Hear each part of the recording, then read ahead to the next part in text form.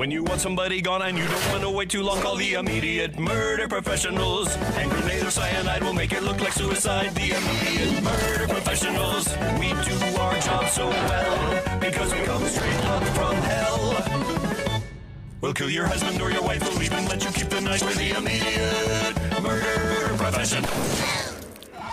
Kids die for free.